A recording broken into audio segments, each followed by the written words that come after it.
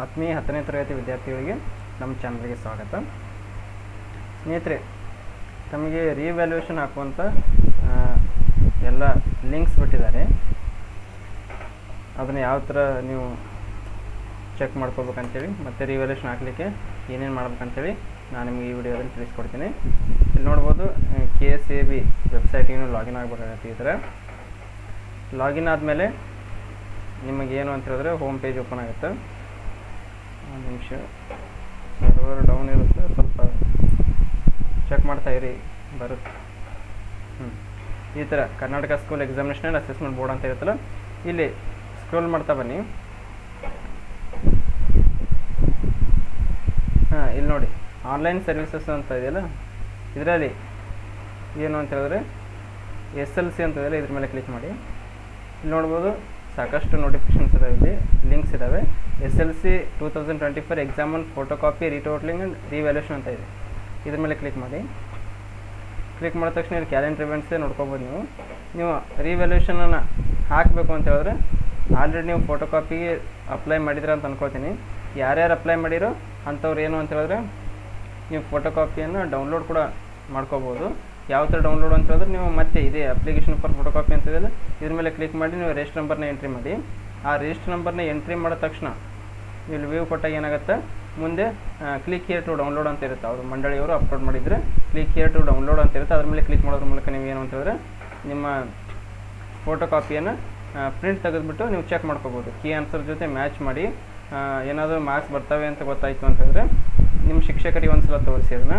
Marks ಬರ್ತವೆ, ಆರು marks ಜಾಸ್ತಿ ಬರ್ತವೆ ಅಂತ ಹೇಳಿದ್ರೆ ನೀವೇನು ಮಾಡಬೇಕು ಅಂತ ಹೇಳಿದ್ರೆ ಇಲ್ಲಿ ಬ್ಯಾಕ್ ಬಂದುಬಿಟ್ಟು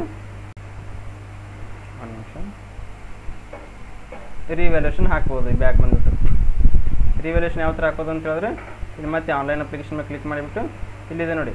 ಅಪ್ಲಿಕೇಶನ್ ಫಾರ್ ರೀಟೋಟ್ಲಿಂಗ್ ಏನಾದರೂ ಟೋಟ್ಲಿಂಗಲ್ಲಿ ಏನಾದರೂ ಮಿಸ್ಟೇಕ್ಸ್ ಆಗಿದ್ರೆ, ಅವ್ರು ಕೌಂಟ್ ಮಾಡೋ ಟೈಮಲ್ಲಿ ಏನಾದರೂ ಮಿಸ್ಟೇಕ್ಸ್ ಮಾಡಿದರೆ ನೀವು ಏನು ಅಂತಾರೆ ಡೈರೆಕ್ಟಾಗಿ ಅಪ್ಲಿಕೇಶನ್ ಫಾರ್ ರೀಟೋಟ್ಲಿಂಗ್ ಅಂತ ಹೇಳಿ ಇದ್ರ ಮೇಲೆ ಕ್ಲಿಕ್ ಮಾಡೋದ್ರ ಮೂಲಕ ನೀವೇನು ಮಾಡ್ಬೋದು ಅಪ್ಲಿಕೇಶನ್ನ ಹಾಕ್ಬೋದು ರೀಟೋಟ್ಲಿಂಗಿಗೆ ಇನ್ನು, ಇಲ್ಲ ಅಂತ ಹೇಳಿದ್ರೆ ನೀವು ವ್ಯಾಲ್ಯೂಯೇಷನ್ ಹಾಕಬೇಕು ಅಂತ ವ್ಯಾಲ್ಯೂಯೇಷನಲ್ಲಿ ಏನಾದರೂ ಮಿಸ್ಟೇಕ್ಸ್ ಆಗಿದ್ರೆ ನೀವೇನು ಮಾಡಬೇಕು ಅಂತ ಹೇಳಿದ್ರೆ ವಾಪಸ್ಸು ವ್ಯಾಲ್ಯೂಯೇಷನ್ ರಿವ್ಯಾಲ್ಯೂಯೇಷನ್ಗೆ ಹಾಕಬೇಕಾಗತ್ತೆ.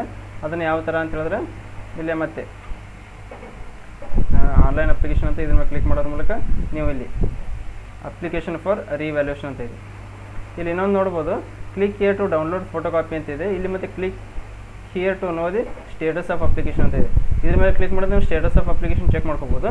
Click here to download photo copy ಅಂತ ಆಗಲೇ ಹೇಳಿದ್ನಲ್ಲ ನಾನು. ಇದ್ರ ಮೇಲೆ ಕ್ಲಿಕ್ ಮಾಡೋದ್ರ ಮೂಲಕ ನೀವು ಏನು ಮಾಡ್ಬೋದು? ನಿಮ್ಮ ಫೋಟೋ ಕಾಪಿಯನ್ನು ಡೌನ್ಲೋಡ್ ಮಾಡ್ಕೋಬೋದು. ಇಲ್ಲಿ ಅಪ್ಲಿಕೇಶನ್ ನಂಬರ್ ಹಾಕಿ.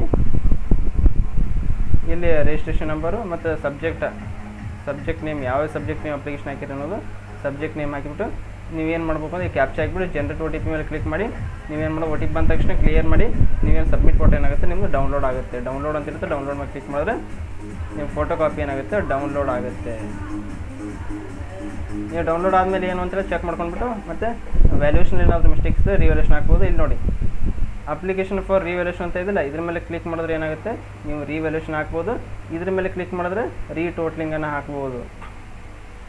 ಆ ಫೋಟೋ ಕಾಪಿ ಮತ್ತು ತರಿಸಿರೋದನ್ನು ಸ್ಕ್ಯಾನ್ ಕಾಪಿನ ನೀವು ಮೊದಲು ಚೆಕ್ ಮಾಡ್ಕೊಂಡ್ಬಿಟ್ಟು ಈ ಪ್ರೊಸೀಜರ್ನ ಮಾಡಬೇಕಾಗುತ್ತೆ. ಅಪ್ಲಿಕೇಶನ್ ಫಾರ್ ರಿವ್ಯಾಲ್ಯೂಷನ್ ಒಂದು ಇದ್ರ ಮೇಲೆ ಕ್ಲಿಕ್ ಮಾಡೋದ್ರ ಮೂಲಕ ಇಲ್ಲಿ ನೀವು ರಿಜಿಸ್ಟರ್ ನಂಬರ್ ಎಂಟ್ರಿ ಮಾಡಿ ವ್ಯೂ ಕೊಟ್ಟಾಗ ನಿಮ್ಮ ಡೀಟೇಲ್ಸ್ ಓಪನ್ ಆಗುತ್ತೆ.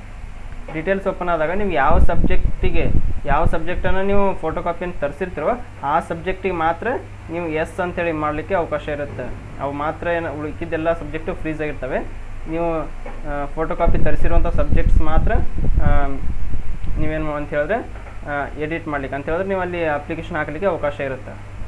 ಸೇಮ್ ನೀವು ಫೋಟೋ ಕಾಪಿ ಯಾವ ಥರ ಅಪ್ಲಿಕೇಶನ್ ಹಾಕಿದ್ರೆ ಅದೇ ಥರ ಎಸ್ ಅಂತ ಮಾಡ್ಕೋಬೇಕಾದ್ರೆ ನೋ ಅಂತ ಇರುತ್ತೆ. ಆ ಸಬ್ಜೆಕ್ಟ್ ಮುಂದೆ ಯಾವುದನ್ನು ನೀವು ರಿವಲ್ಯೂಷನ್ ಆಗ್ತೀರಿ ಯಾವ ಸಬ್ಜೆಕ್ಟ್ ರಿವಲ್ಯೂಷನ್ ಆಗ್ತೀರೋ ಅದನ್ನು ಎಸ್ ಅಂತ ಮಾಡ್ಕೋಬೇಕು ಎಸ್ ಅಂತ ಮಾಡ್ಕೊಂಬಿಟ್ಟು ಕೆಳಗಡೆ ಅದು ಬ್ಯಾಂಕ್ ಡೀಟೇಲ್ಸ್ ಕೇಳುತ್ತೆ. ಅಕೌಂಟ್ ನಂಬರು ಮತ್ತು I F S C code ಅವೆಲ್ಲ ಕೇಳುತ್ತೆ. ಅದನ್ನೆಲ್ಲ ಹಾಕಿಬಿಟ್ಟು ನೀವು ಮೊಬೈಲ್ ನಂಬರ್ ಹಾಕಿ ಅಡ್ರೆಸ್ ಹಾಕಿಬಿಟ್ಟು ನೀವು ಜನ್ರೇಟ್ ಒ ಟಿ ಪಿ ಮೇಲೆ ಕ್ಲಿಕ್ ಮಾಡಿದ್ರೆ ನಿಮ್ಗೆ ಏನಾಗುತ್ತೆ? ಒ ಟಿ ಪಿ ಎಂಟ್ರಿ ಮಾಡಬೇಕು. ಎಂಟ್ರಿ ಮಾಡಿದ ತಕ್ಷಣ ಸಬ್ಮಿಟ್ ಕೊಟ್ಟರೆ ಏನಾಗುತ್ತೆ? ನೀವು ಪೇಮೆಂಟ್ ಆಪ್ಷನ್ಗೆ ಕರ್ಕೊಂಡು ಹೋಗುತ್ತೆ. ನೀವು ಯಾವ ಥರ ಫೋಟೋ ಕಾಪಿಗೆ ಪೇಮೆಂಟ್ ಮಾಡಿರೋ ಅದೇ ಥರ ನೀವು ಕ್ರೆಡಿಟ್ ಕಾರ್ಡು ಡೆಬಿಟ್ ಕಾರ್ಡು ಅಥವಾ ಪೇ ಟಿ ಎಂ ಮೂಲಕನೋ ಅಥವಾ ರೇಜರ್ ಪೇಲ್ ಹೋದರೆ ನಿಮ್ಮ U P I pin pin ಮೇಲೂ ಕೂಡ ನೀವು ರಿಜಿಸ್ಟ್ರೇಷನ್ ಅಂದರೆ ನೀವು ಪೇಮೆಂಟನ್ನು ಮಾಡ್ಬೋದು. ಮಾಡಿಬಿಟ್ಟು ಸಬ್ಮಿಟ್ ಕೊಟ್ಟು ಏನಾಗುತ್ತೆ? ನಿಮ್ಮದು ರಿವ್ಯಾಲ್ಯೂಷನ್ ಪ್ರೊಸೀಜರ್ ಕಂಪ್ಲೀಟ್ ಆಗುತ್ತೆ. ಇನ್ನೊಂದು ನಾನು ಕ್ಲಿಯರ್ ಮಾಡೋಕೆ ಹೋಗ್ತಾ ಇದ್ದೀನಿ. ಇಲ್ಲಿ ಏನು ಅಂತ ಹೇಳಿದ್ರೆ, ಈ ರೀಟೋಟ್ಲಿಂಗ್ ಹಾಕಲಿಕ್ಕೆ ಕೂಡ ನೀವು ಏನು ಅಂತ ಹೇಳಿದ್ರೆ, ಆ ಫೋಟೋ ಕಾಪಿಯನ್ನು ತರಿಸಿರಬೇಕು. ಫೋಟೋ ಕಾಪಿ ಅಂದರೆ ಸ್ಕ್ಯಾನ್ ಕಾಪಿ ತರಿಸ್ತೇನೆ ರೀವ್ಯಾಲ್ಯೂಷನ್ ಹಾಕ್ಲಿಕ್ಕೂ ಆಗಲ್ಲ ರೀಟೋಟ್ಲಿಂಗ್ ಹಾಕ್ಲಿಕ್ಕೂ ಆಗಲ್ಲ. ಈ ರೀಟೋಟ್ಲಿಂಗ್ ಹಾಕ್ಬೇಕಂದ್ರೂ ನೀವು ಸ್ಕ್ಯಾನ್ ಕಾಪಿಯನ್ನು ತರಿಸಿರ್ಬೇಕಾಗುತ್ತೆ. ಆ ಸ್ಕ್ಯಾನ್ ಕಾಪಿಯನ್ನು ಚೆಕ್ ಮಾಡ್ಕೊಂಡ್ಬಿಟ್ಟು, ಅಲ್ಲಿ ಏನಾದರೂ ವ್ಯಾಲ್ಯೂಷನಲ್ಲಿ ಮಿಸ್ಟೇಕ್ ಆಗಿದ್ದರೆ ರಿವ್ಯಾಲ್ಯೂಷನ್ ಹಾಕಬೇಕು ಕೌಂಟಿಂಗಲ್ಲಿ ಮಿಸ್ಟೇಕ್ ಆಗಿದ್ದರೆ ರೀಕೌಂಟಿಂಗನ್ನು ಹಾಕಬೇಕು. ರೀಟೋಟ್ಲಿಂಗ್ ಹಾಕಬೇಕು. ಇನ್ನೊಂದು ಏನು ಅಂತ ಹೇಳಿದ್ರೆ ಈ ರೀ ಟೋಟ್ಲಿಂಗ್ ಹಾಕಿದಾಗ ಏನು ಅಂತ ಹೇಳಿದ್ರೆ ನಿಮ್ಮ ಫೀಸ್ ಇರೋದಿಲ್ಲ. ಅಂದರೆ ನೀವು ಫೋಟೋ ಕಾಪಿ ತರ್ಸೋಕ್ಕೇನು ಪರ್ ಸಬ್ಜೆಕ್ಟ್ ನಾಲ್ಕುನೂರು ರೂಪಾಯಿ ನೀವು ಪೇಮೆಂಟ್ ಮಾಡಿರ್ತೀರಲ್ಲ, ಅದರಲ್ಲಿ ಅದು ಡಿಡಕ್ಟ್ ಆಗುತ್ತೆ. ಹೊರತಾಗಿ ನೀವು ಮತ್ತೆ ಒಳ್ಳೆ ರೀಕೌಂಟಿಂಗ್ ಹಾಕಿದಾಗ ಏನಾಗಲ್ಲ ರೀ ಟೋಟ್ಲಿಂಗ್ ಹಾಕಿದಾಗ ಏನಾಗಲ್ಲ ನಿಮಗೆ ಫೀಸನ್ನು ಇರೋದಿಲ್ಲ. ಫ್ರೀದಲ್ಲಿ ನೀವು ರೀ ಟೋಟ್ಲಿಂಗನ್ನು ಹಾಕ್ಬೋದು. ಯಾರು ಫೋಟೋ ಕಾಪಿ ಸ್ಕ್ಯಾನ್ ಕಾಪಿನ ತರಿಸಿರುವಂಥ ವಿದ್ಯಾರ್ಥಿಗಳು, ಅಂಥ ಸಬ್ಜೆಕ್ಟನ್ನು ಮಾತ್ರ. ಇನ್ನು ರಿವ್ಯಾಲ್ಯೂಷನ್ ಅಂತ ಬಂದಾಗ ನೀವು ಮತ್ತೆ again per subject eight hundred rupees fees ಇರುತ್ತೆ. ಆ ಫೀಸ್ ತೋರಿಸುತ್ತೆ ಅಲ್ಲಿದು. ಒನ್ ಸಬ್ಜೆಕ್ಟ್ ಹಾಕಿದ್ರೆ ರಿವ್ಯಾಲ್ಯೂಷನ್ ಹಾಕಿದ್ರೆ ಏಯ್ಟ್ ಹಂಡ್ರೆಡು ಟೂ ಸಬ್ಜೆಕ್ಟ್ ಹಾಕಿದ್ರೆ ಸಿಕ್ಸ್ಟೀನ್ ಹಂಡ್ರೆಡು ಈ ಥರ ತ್ರೀ ಸಬ್ಜೆಕ್ಟ್ ಹಾಕಿದ್ರೆ ಟ್ವೆಂಟಿ ಫೋರ್ ಹಂಡ್ರೆಡು ಈ ಥರ ಇರುತ್ತೆ. ಟೂ ತೌಸಂಡ್ ಫೋರ್ ಹಂಡ್ರೆಡ್ ಈ ಥರ ನೀವು per subject eight hundred rupees ರಿವ್ಯಾಲ್ಯೂಷನ್ಗಿದೆ recounting free ಇದೆ. ಈ ಸ್ಕ್ಯಾನ್ ಕಾಪಿಗೆ ಏನಿದೆ ಅಂತ ಹೇಳಿದ್ರೆ ಪರ್ ಸಬ್ಜೆಕ್ಟು ನಾಲ್ಕುನೂರು ರೂಪಾಯಿ ಇದೆ. ಡೀಟೇಲ್ಸು ಕ್ಲಿಯರ್ ಆಯಿತು ಅಂತ ಅಂದ್ಕೊಳ್ತೀನಿ ಪ್ರೊಸೀಜರ್ ಸಿಂಪಲ್ ಇದೆ, ಮಾಡ್ಬೋದು. ಯಾರಿಗಾದ್ರೂ ಗೊತ್ತಲ್ಲ ಅಂತ ಹೇಳಿದ್ರೆ ನಿಮ್ಮ ರಿಜಿಸ್ಟರ್ ನಂಬರನ್ನು ಅಂದರೆ ಸ್ಕ್ಯಾನ್ ಕಾಪಿ ನೀವು ತರಿಸಿದ್ರಿ ಅಂತ ಹೇಳಿದ್ರೆ ಅಂಥವ್ರು ಏನಾದರೂ ರಿಜಿಸ್ಟರ್ ನಂಬರ್ ಇತ್ತು ಅಂತ ಅಪ್ಲಿಕೇಶನ್ ನಂಬರ್ ಇತ್ತು ಅಂತ ಹೇಳಿದ್ರೆ ಹೇಳಿ, ನಾನು ನಿಮಗೆ ರಿವ್ಯಾಲ್ಯೂಷನ್ ಕೂಡ ನಿಮ್ಗೆ ಹಾಕಿ ಒಂದು ವಿಡಿಯೋ ತೋರಿಸ್ತೀನಿ. ಇಲ್ಲ ಅಂತ ಹೇಳಿದ್ರೆ ನಿಮಗೆ ಗೊತ್ತಾಗಲ್ಲ ಅಂತ ಹೇಳಿದ್ರೆ ಕಮೆಂಟ್ ಮಾಡಿ. ನಾನು ನಂಬರ್ ಕೊಡ್ತೀನಿ ವಾಟ್ಸಪ್ ನಂಬರ್ ಕೊಡ್ತೀನಿ. ಅದ್ರ ಮೇಲೆ ನಿಮಗೆ ರಿವ್ಯಾಲ್ಯೂಷನ್ ಕೂಡ ಹಾಕಿ ಕೊಡು ಅಂದರೆ ಹಾಕ್ತೀವಿ ಅಂತೆ ಕ್ಲಿಯರ್ ಆಯ್ತು ಅಂತ ಅನ್ಕೊಳ್ತೀನಿ. ಫೋಟೋ ಕಾಪಿ ತರಿಸೋಂಥ ವಿದ್ಯಾರ್ಥಿಗಳು ರೀಟೋಟ್ಲಿಂಗ್ ಹಾಕ್ಬೋದು ರಿವ್ಯಾಲ್ಯೂಷನ್ ಹಾಕ್ಬೋದು. ರೀಟೋಟ್ಲಿಂಗ್ ಫ್ರೀ ಇದೆ.